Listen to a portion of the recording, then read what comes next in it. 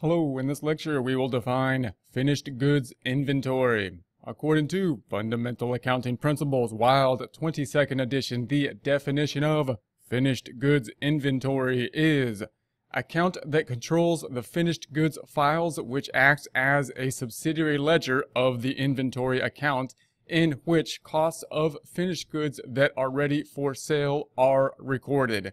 When we're thinking about finished goods inventory, we are thinking about a, an account related to inventory. We also are thinking about an inventory account that is part of a manufacturing company generally. That's because we're breaking out that inventory to the way we need to track that inventory, that being from the inventory that is not finished, the raw materials inventory, and the finished goods inventory. So when we are in the manufacturing company, we may have the raw materials that are going into our production process. We're going to make boats in this case.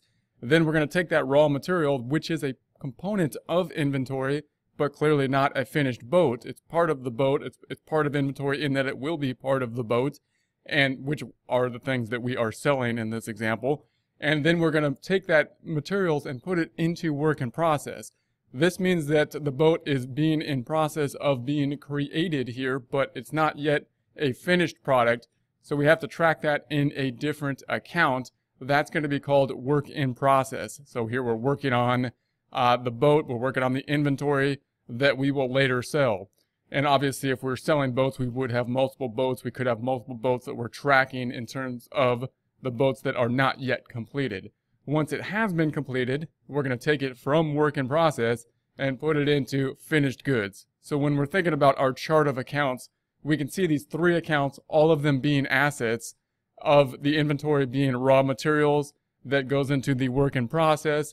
Then we're going to add to that within the work in process, not just the, the raw materials, but the labor and the overhead that go into the costs of that. Then once it's done, we're going to move it out of the to the work in process, put it into finished goods. Finished goods is kind of like what you would say is the inventory account for a uh, company that just buys and sells goods, meaning these are the goods that now are ready to be sold. Once they are sold, we will then expense them in the format of cost of goods sold as we sell these goods to the customer in the same process as we would if we were just buying and selling uh, the inventory.